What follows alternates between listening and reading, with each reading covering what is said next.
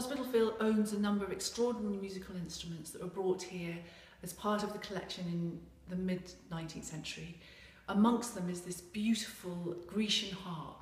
Help us restore it by pledging your money and join us in summer 2017 for the first concert that this beautiful musical instrument will have played for many decades.